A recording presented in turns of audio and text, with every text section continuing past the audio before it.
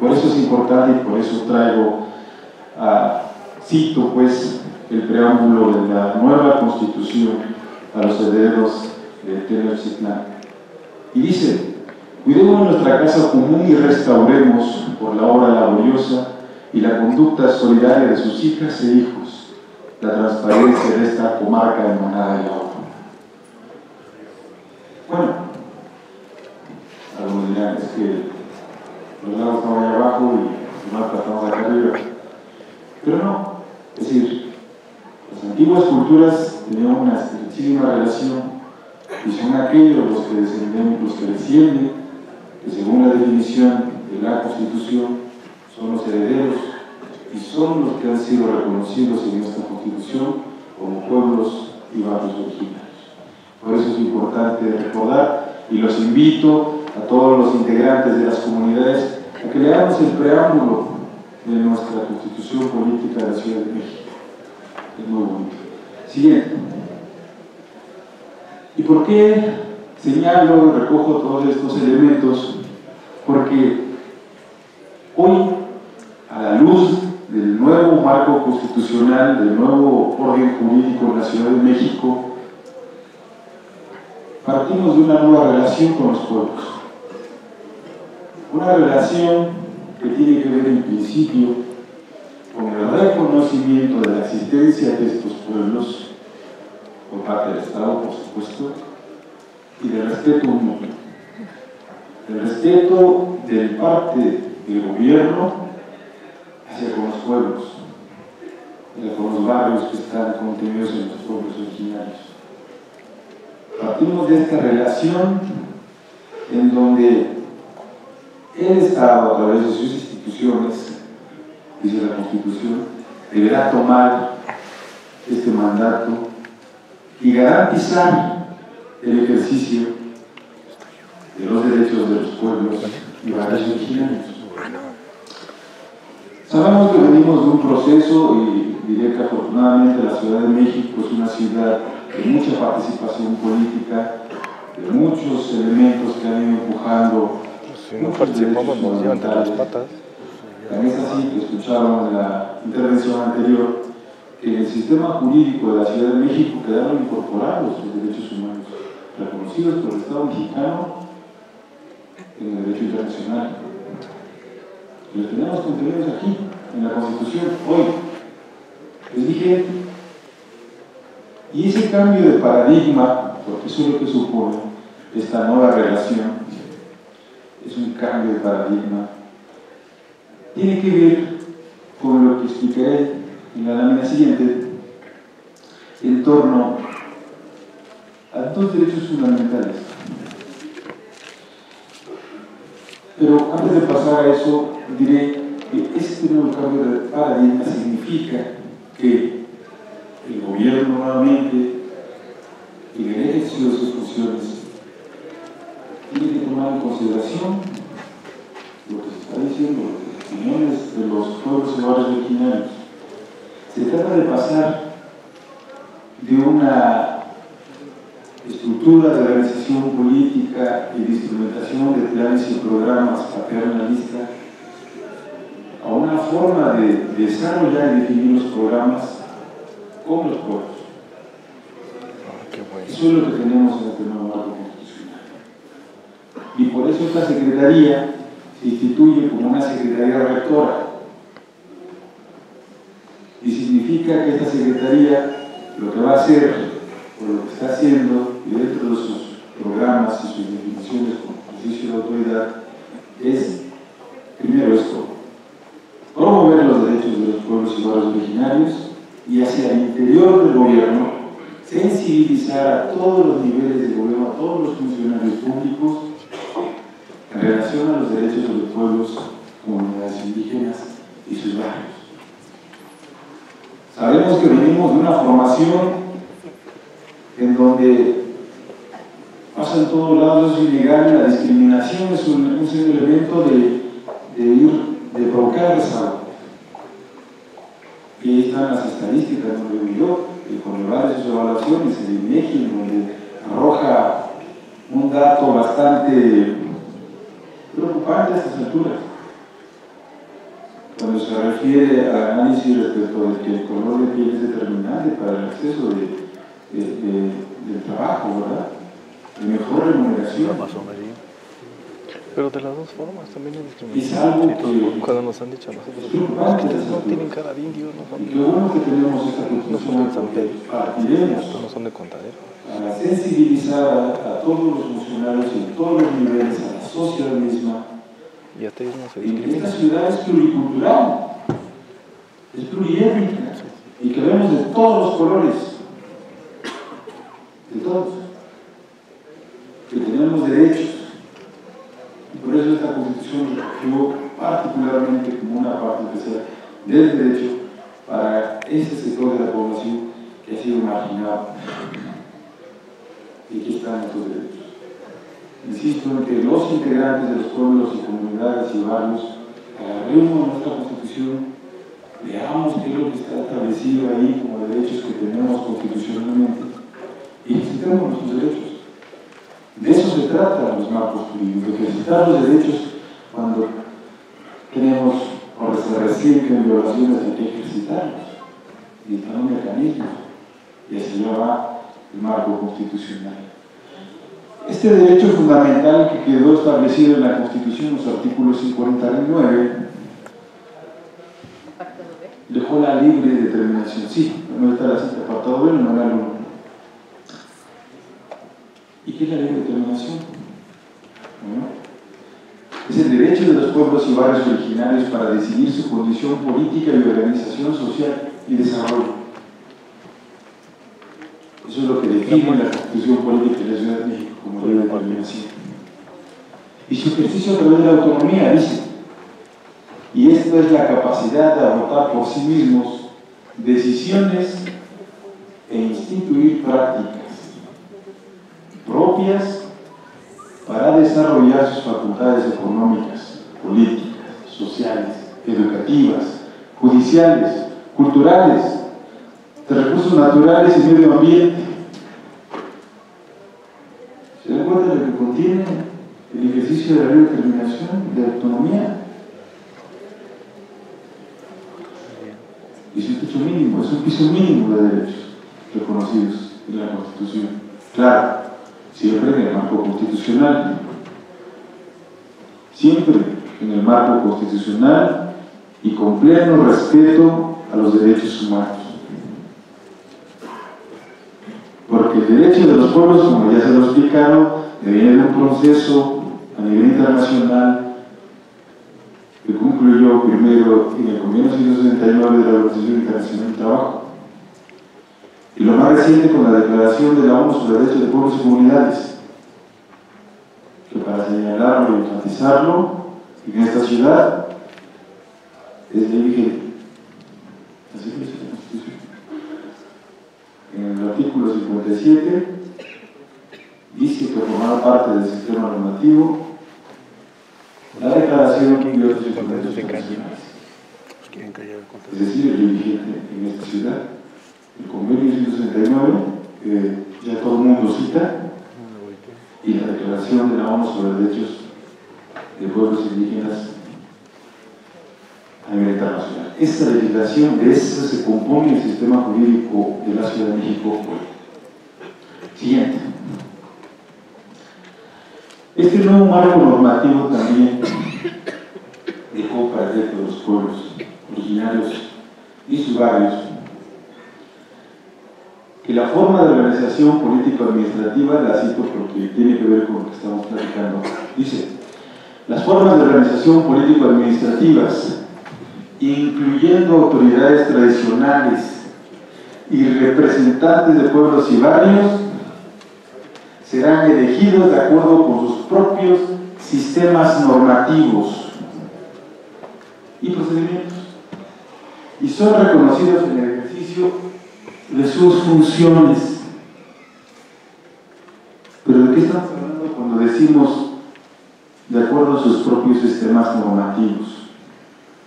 La Constitución ahí no hace una definición clara, seguro que el Congreso está trabajando en la ley reglamentaria para definir estos conceptos. Pero no importa,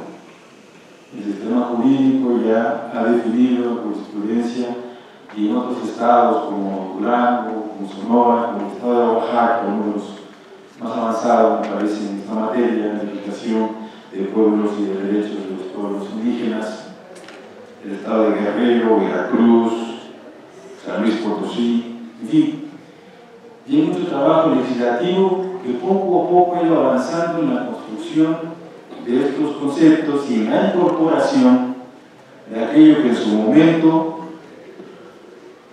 y todavía lo seguimos utilizando, decíamos usos y costumbres. Ay, qué frase Y trillada. platicaba con algunos hace un momento. ¿Por qué les digo yo que hay que empezar a pensar y a utilizar el concepto de sistemas normativos internos? Porque todavía está ahí el principio general del derecho que dice que la costumbre no puede estar por encima de la ley. ¿Qué significa eso?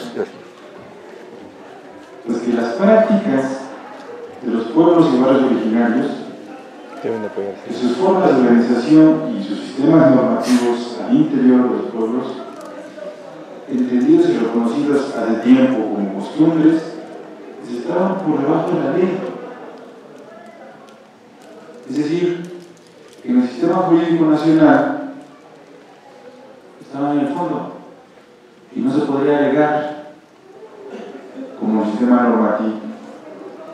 Por eso es importante hablar de sistemas normativos, porque según la definición que veremos en lo siguiente, ah, y luego vendremos a platicar sobre el ejercicio de sus funciones, dice que las autoridades tradicionales, como forma de organización político-administrativo de los pueblos, son reconocidos en el ejercicio de sus funciones.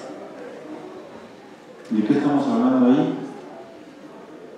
Ya veremos. La siguiente, por favor. Siguiente. Recogí estos conceptos de la legislación del Estado de Oaxaca porque me parece que nos da un poco de claridad sobre lo que significan sistemas normativos o cómo, se ha ido- cómo se ha estado conformando el concepto y su incorporación al sistema jurídico nacional. Dice, es un conjunto de normas jurídicas.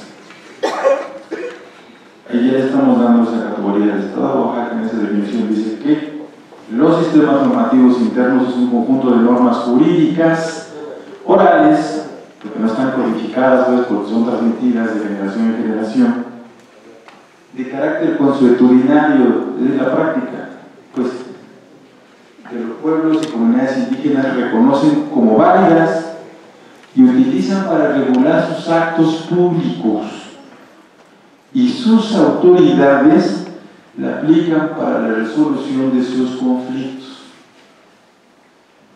Ahí dice autoridades.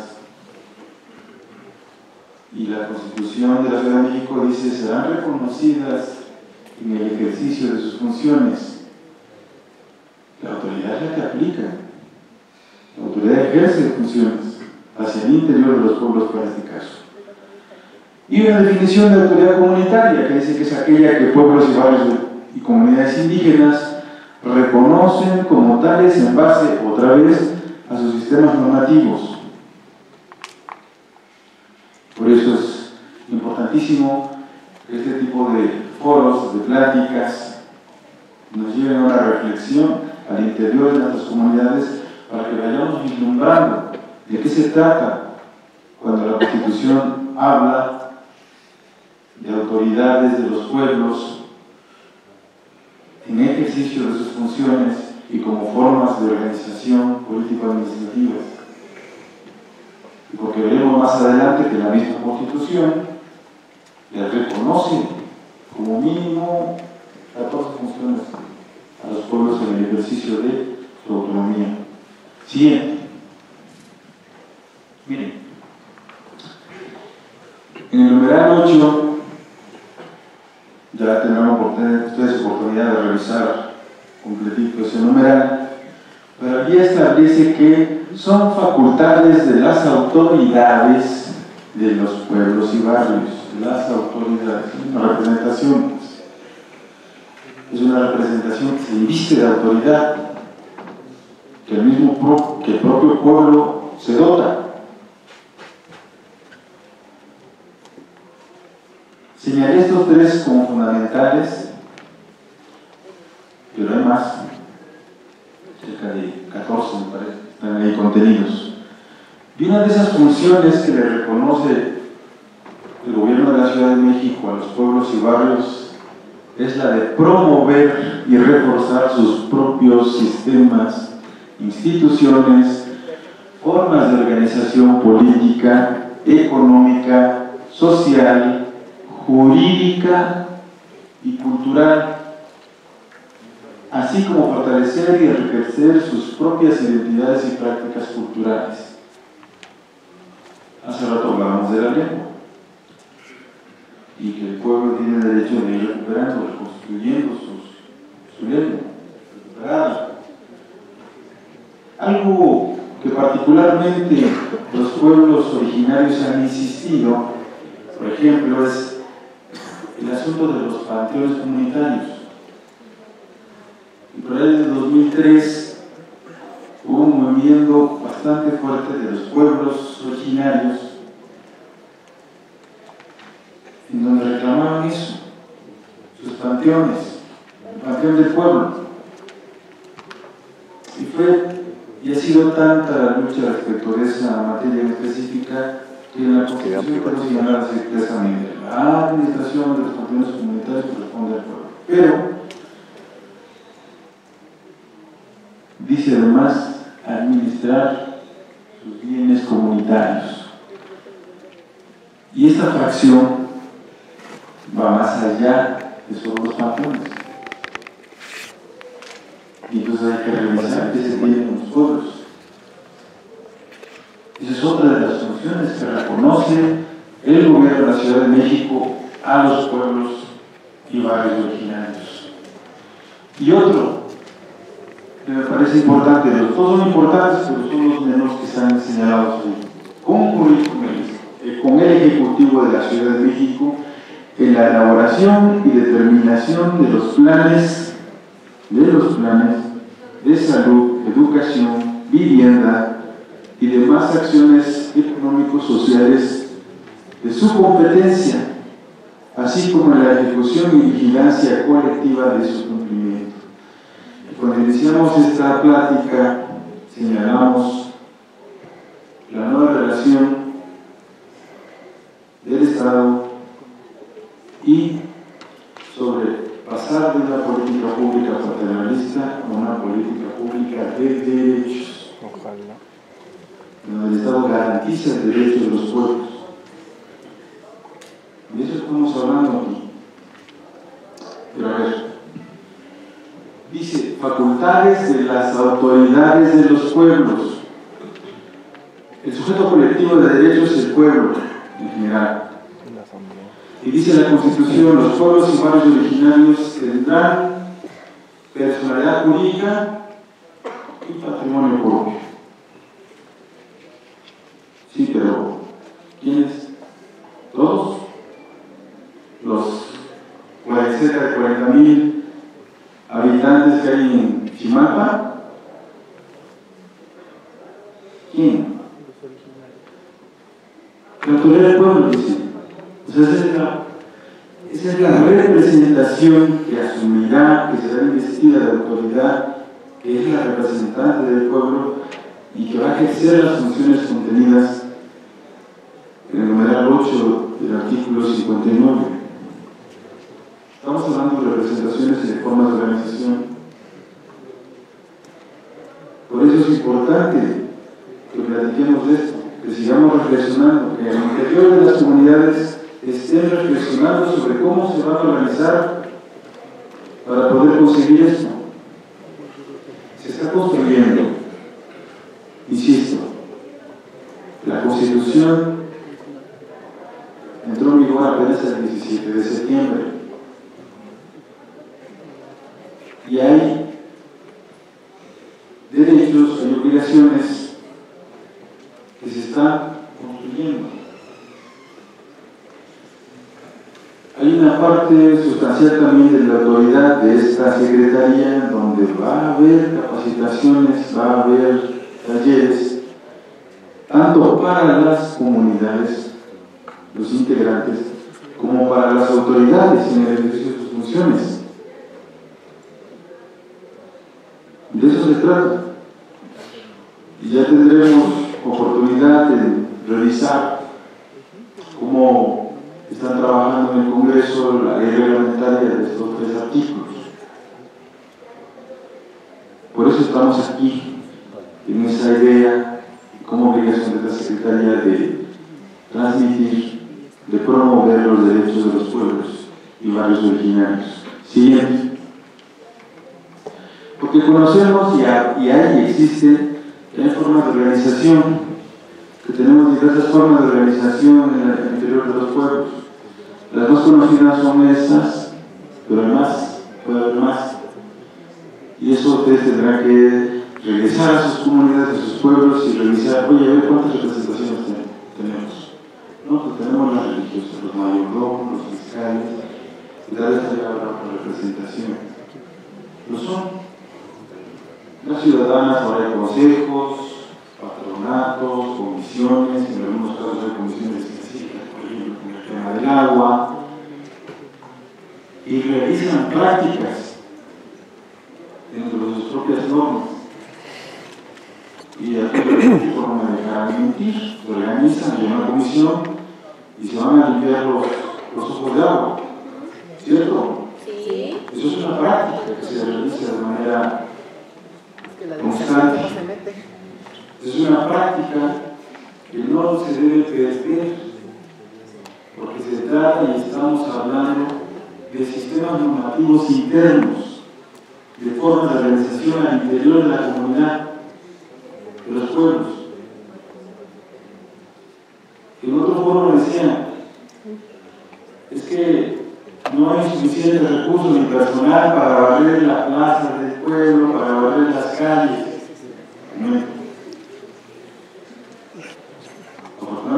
Todavía, yo lo veo constantemente en los pueblos, hay una práctica en que todas las mañanas Aquí no nos dan ni agua para hacer nuestra labor comunitaria y no nos apoyan a la, delegación del alcalde. Son prácticas claramente trascendientes de organización hacia el interior y nadie tiene que venir a decirte, oye, mira, tienes que barrer tu pedazo de banqueta. Nadie. Es algo que se, que se viene de manera constante, constitucional, que dice la Constitución. Son prácticas que se conservan aún en los pueblos. Y esas son las prácticas que hay que reforzar.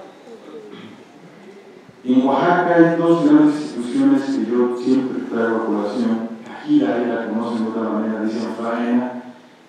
En el estado de Oaxaca dicen tejio. Y es una forma de organización, es sistema normativo, es una parte del sistema normativo. En que la comunidad tiene problemas aquí en Guatemala. Vamos a exhortar a la, al pueblo que hagamos algo por nuestro San Pedro Guatemala porque es una práctica cotidiana. Pero si hay alguien que no lo hace, también existe el mecanismo para sancionarlo y obligarlo a que lo haga dentro del marco normativo interno. Porque en otros estados la participación comunitaria es obligatoria. En muchas comunidades existe y cada vez con mayor fuerza el sistema de cargos. Y son prácticas que no están codificadas.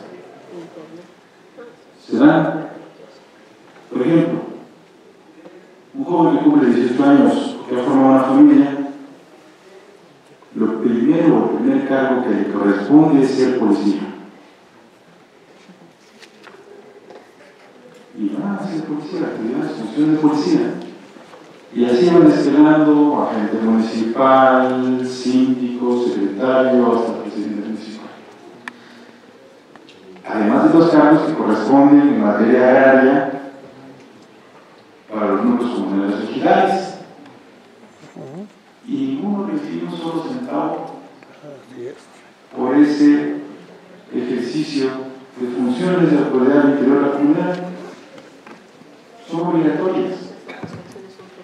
Estamos hablando de sistemas normativos, y así lo recoge la, ley de derechos de pueblos indígenas y comunidades del estado de Oaxaca. Así también lo recogen en otros estados como San Luis Potosí, Durango, Sonora, Veracruz, que han estado legislando en esta materia y que poco a poco se van incorporando estos conceptos al sistema jurídico nacional, porque entre las funciones de las autoridades de los pueblos está la de impartir justicia. Y recordarán en sus pueblos que tenían su, incluso su casa, ¿no? Había un, sí, un kiosco aquí el gobierno donde estaba, donde despacha el representante de la autoridad del pueblo. Estaba su casa. ¿Sí? Y cuando había problemas, en algunos pueblos todavía existe esa práctica, esa norma, que si el señor se pasó de copas y le dio Así es. la señora y se queja con la autoridad del pueblo. No, pues yo soy pueblo. Ella va a la autoridad del pueblo. Y busca la manera de resolver el conflicto. En algunos casos impone sanciones, en algunos casos en los estados impone sanciones incluso corporales. Eso no lo permite la Constitución, pero a lo que me refiero es que la norma, la práctica, persiste. Está ahí, en la autoridad del Servicio pueblo comunitario. imparte justicia. Y al que no mate ello, tiene una sanción y se aplica. Tiene- Es tu obligación en la comunidad. Ujú. Hay que limpiar los ojos de agua, hay que limpiar los caminos, que si hay un incendio en el Caños, monte, todo el mundo tiene que ir a pagar. Parques, iglesias, monumentos. Y porque en esas comunidades prevalece el ideario colectivo sobre lo individual. Porque esa es una de las partes sustanciales y uno de los elementos identitarios que fortalecen los lazos en las comunidades, en los pueblos. Estamos diciendo, es un recurso de todos. Se quema el bosque, pues se acaba la madera, ya no hay este, ese elemento que sirve económicamente a las comunidades. Y ustedes han visto hoy con este asunto de la tecnología, las redes sociales, habrán visto en Facebook y en Twitter estas eh, fiestas de bodas en los pueblos, en donde todo el mundo va cargando la lavadora, los platos, el refrigerador, la cama. Lo hemos visto, ¿cierto? Pero son prácticas que se han estado, en la ciudad se han estado perdiendo. Todavía hay, de todas decir cuáles son, pero se han estado perdiendo. Allá en otros estados, Oaxaca, Chiapas, Guerrero, Cruz, la práctica es fuerte y es muy poderosa. Abarca muchas esferas del desarrollo de, la las comunidades. Tiene que ver con el desarrollo económico, con organización social, con cultura. Imagínense ustedes, esto no les va a gustar ni a mi voz, pero lo que significa que, un, que una nueva familia que se conforma no tenga que gastar lo que gastamos en la ciudad para atender una casa. Porque hay comunidades en donde, ah, ya saben que fulano y sus damas se van a casar dentro de dos, tres meses.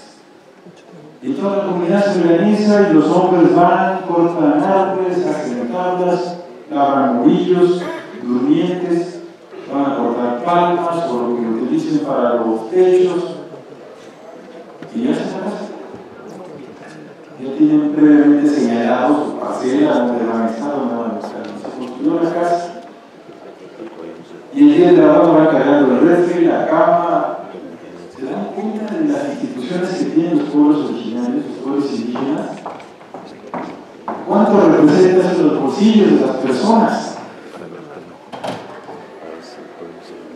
Tiene un impacto tremendo, es poderoso en las instituciones, existe la práctica.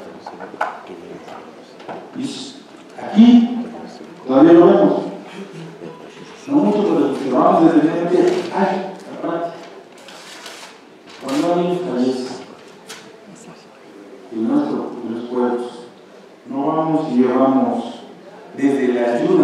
las manos para hacer la comida, para hacer los preparativos fúnebres, hasta le llevamos dinero para poder comprar el café, otros llevan especie, maíz, masa, otros van a hacer tortillas.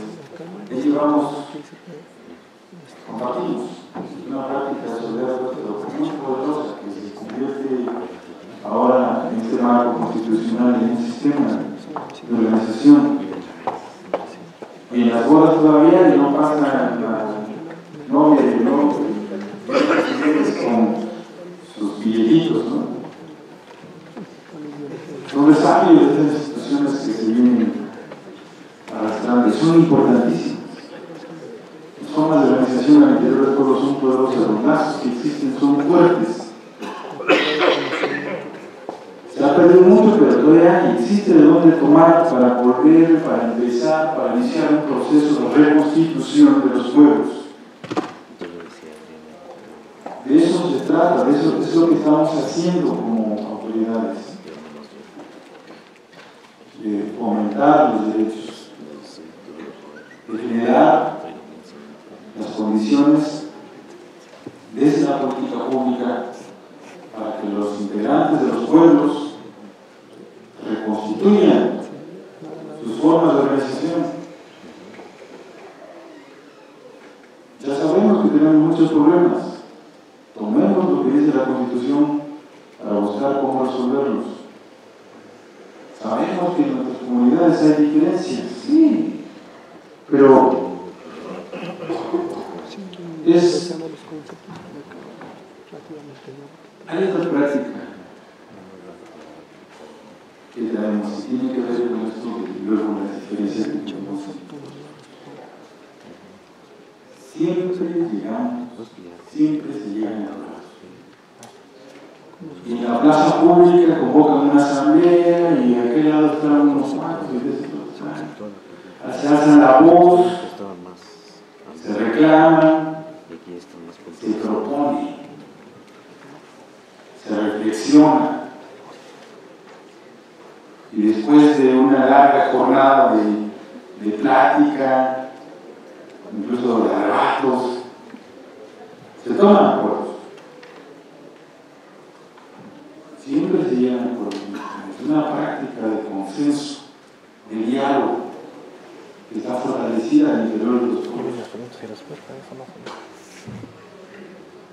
Y comprendemos ¿no? con las unidades habitacionales, a veces Pero los pueblos todo el mundo se conoce. Sabe hija de quién es, hijo de quién es, quién es su abuelo, dónde viví, en fin.